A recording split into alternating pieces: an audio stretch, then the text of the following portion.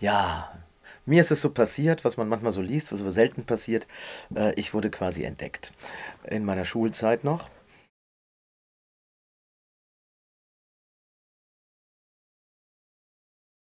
Nein, ich habe natürlich das das Boot habe ich ziemlich im Kopf. Den Film habe ich so oft gesehen und, äh aber ich kann nicht sagen, da ist ein Satz, der mein Leben unter ein Motto stellt oder mich begleitet.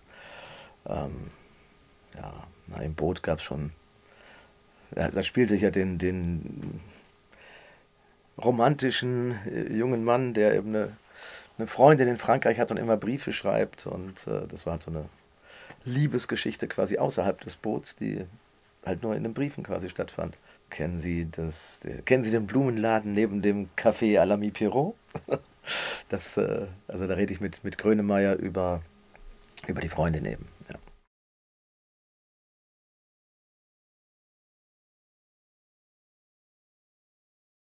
Na ja, die Bavaria-Film war für mich schon anfangs so, äh, die Heimat, ja, weil also hier, äh, war eben Boot und viele, viele andere Sachen, die ich dann in den 80er, äh, und 90er Jahren hier gedreht habe.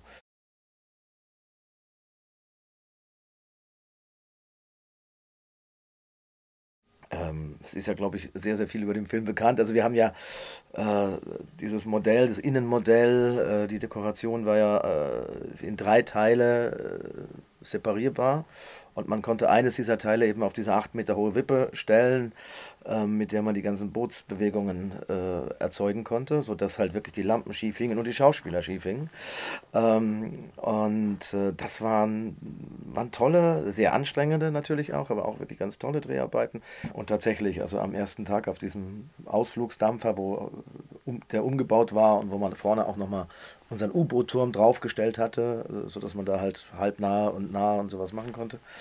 An diesem ersten Tag, ähm, hing die halbe Mannschaft über der Reling und, äh, ja, ging vielen nicht so gut.